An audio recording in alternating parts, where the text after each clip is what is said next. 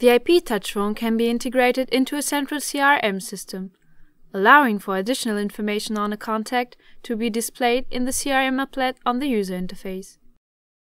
Example Information could be pictures, graphics, agenda or customer information. The CRM will pop up automatically when the system matches a phone number with the CRM contact. You can consult the CRM information of a contact by pressing 2 seconds on the shortcut and hit the CRM button represented here by the character button.